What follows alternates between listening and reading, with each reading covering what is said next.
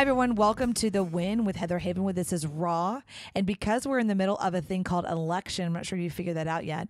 Um, I'm going to be talking to you about the election. We are one day away from the election. So hopefully this is going to go out either Monday or Tuesday. And this is Heather Havenwood. Check me out at heatherhavenwood.com. This is Raw. This is just me and you.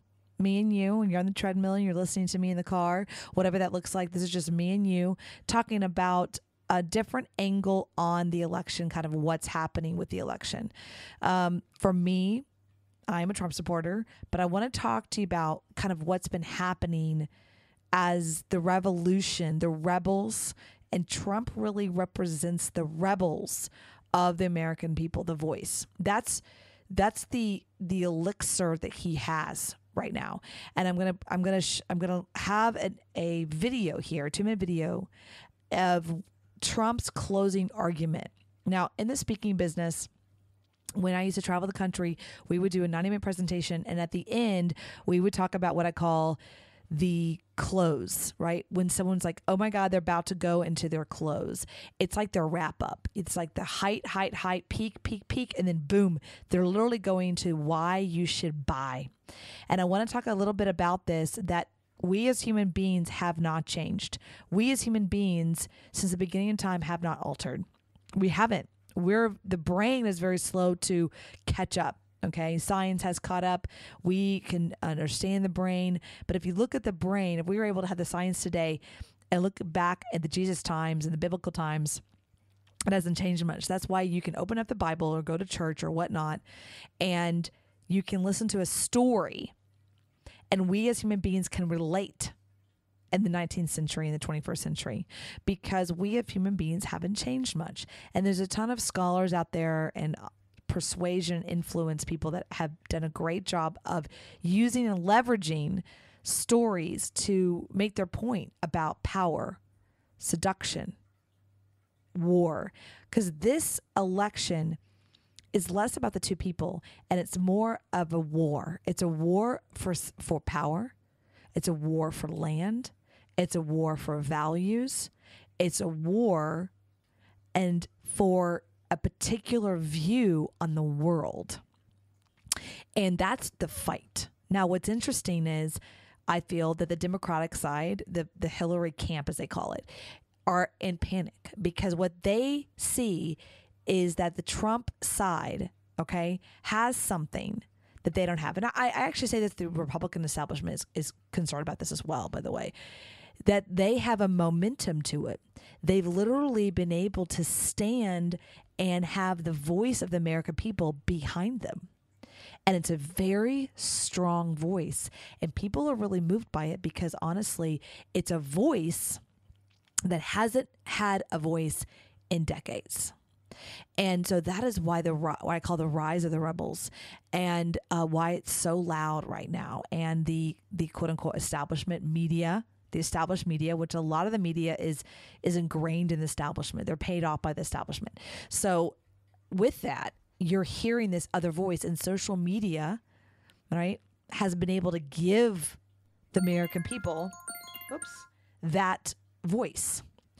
And it's it's quite interesting to me.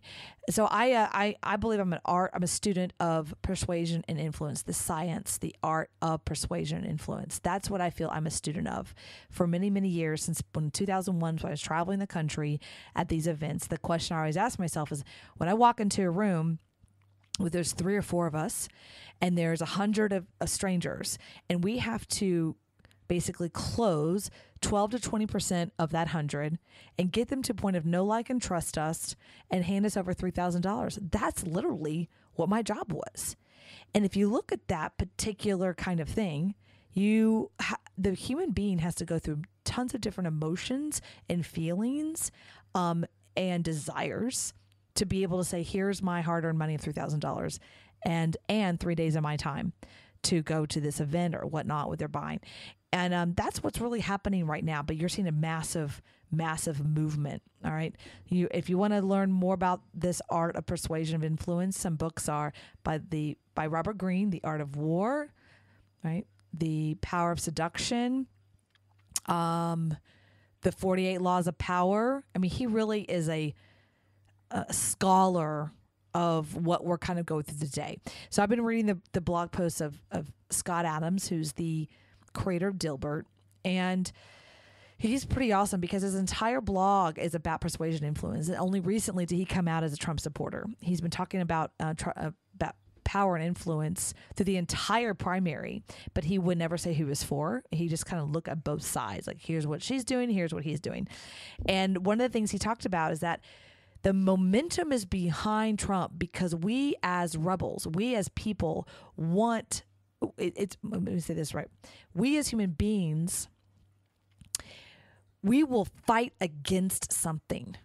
We will get up, get out our pitchforks, walk out our doors when we feel passionate to be up against something. It'll move mountains. Let me explain one of my stories. So I'm 22 years old.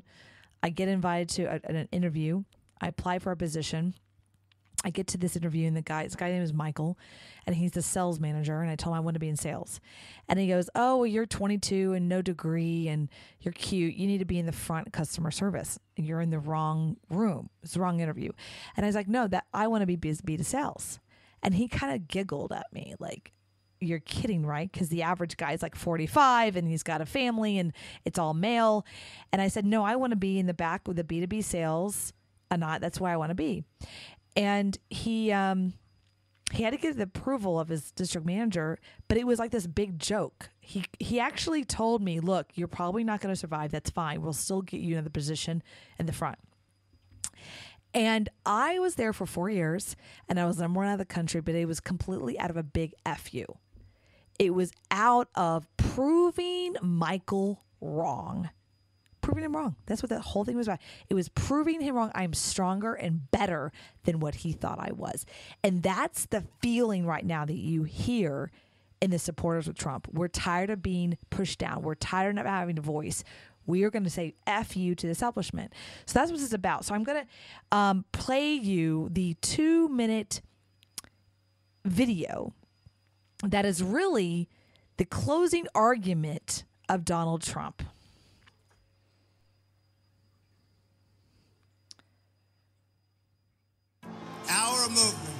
Is about replacing a failed and corrupt political establishment with a new government controlled by you, the American people. The establishment has trillions of dollars at stake in this election. For those who control the levers of power in Washington and for the global special interest, they partner with these people that don't have your good in mind the political establishment that is trying to stop us is the same group responsible for our disastrous trade deals, massive illegal immigration, and economic and foreign policies that have bled our country dry. The political establishment has brought about the destruction of our factories and our jobs as they flee to Mexico, China, and other countries all around the world. It's a global power structure that is responsible for the economic decisions that have robbed our working class, stripped our country of its wealth, and put that money into the pockets of a handful of large corporations and political entities. The only thing that can stop this corrupt machine is you.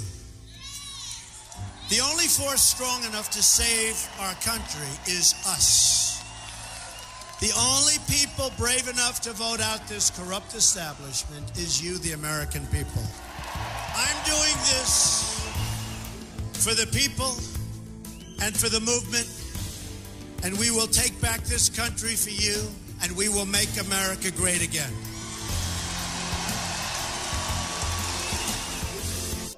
I'm Donald Trump, and I approve this message.